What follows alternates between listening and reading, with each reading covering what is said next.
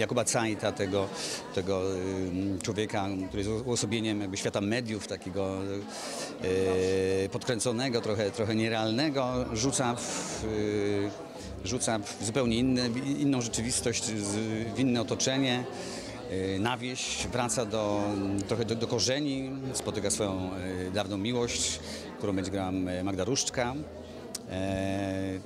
Czy to będzie pozytywne spotkanie, czy negatywne, nie, nie chcę zdradzać, e, zdradzać, ale myślę, że e, konfrontacja tych dwóch światów będzie, e, będzie dość zabawna, zaskakująca e, dla postaci, ale też dla widzów, mam nadzieję.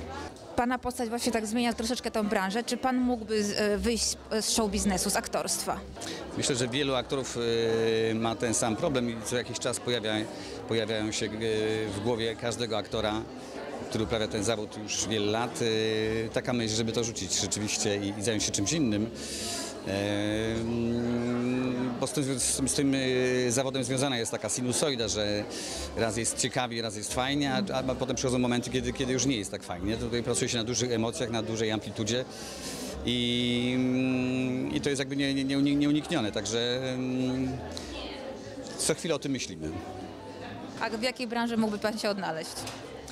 Myślę o tym od 25 lat i właśnie nie wymyśliłem żadnej, żadnej branży, więc dlatego jestem cały czas tutaj.